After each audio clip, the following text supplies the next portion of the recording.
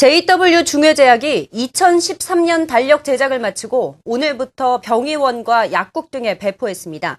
JW 중외제약 관계자는 병원과 약국에 부착된 달력은 1년 내내 환자들과 고객들에게 노출되기 때문에 회사와 제품을 홍보하는 효과가 크다고 달력 조기 출시 배경을 설명했습니다.